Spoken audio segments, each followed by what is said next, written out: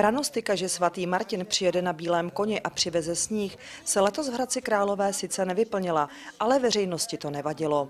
Na Velkém náměstí byl totiž pátek 11. listopadu připraven tradiční kulturní program a lidé si odpoledne i přes absenci sněhu užívali. Ani letošní 11. listopad nebyl výjimkou a Bílý kůň, co by symbol přicházející zimní turistické sezóny, dovezl ve 4 hodiny Martina opět pod Bílou věž. Již o dvou hodin byly ve stáncích k prodeji i ochutnávce svatomartinské rohlíčky, svatomartinské víno a mnoho dalších tradičních lahůdek i adventních inspirací.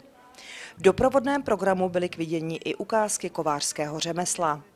Děti, které nesou křesní jméno Martin či Martina, se mohly svést na bílém koni. Každoroční vítání Martina na Bílém koni mělo i letos pod textu slogan, že zimou turistická sezóna v Hradci Králové a na Hradecku nekončí.